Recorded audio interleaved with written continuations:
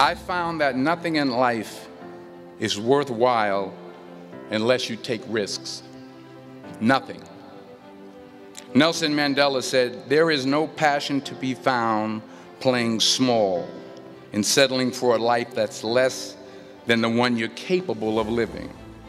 Now, I'm sure in your experiences in school and applying to college and picking your major and deciding what you want to do with life, I'm sure people have told you to make sure you have something to fall back on. Make sure you got something to fall back on, honey. But I never understood that concept, having something to fall back on. If I'm going to fall, I don't want to fall back on anything except my faith. I want to fall forward I figure at least this way I'll see what I'm going to hit.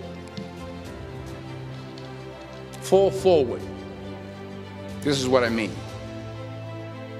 Reggie Jackson struck out 2,600 times in his career, the most in the history of baseball. But you don't hear about the strikeouts. People remember the home runs. Fall forward. Thomas Edison conducted 1,000 failed experiments. Did you know that? I didn't know that because the 1001st was the light bulb. Fall forward. Every failed experiment is one step closer to success. You've got to take risks, and I'm sure you've probably heard that before, but I want to talk to you about why that's so important. I got three reasons, and then you can pick up your iPhones. First, you will fail at some point in your life. Accept it. You will lose. You will embarrass yourself. You will suck at something. There's no doubt about it.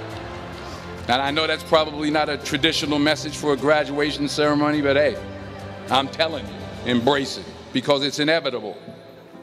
And I should know. In the acting business, you fail all the time. Early on in my career, I auditioned for a part in a Broadway musical. Perfect role for me, I thought.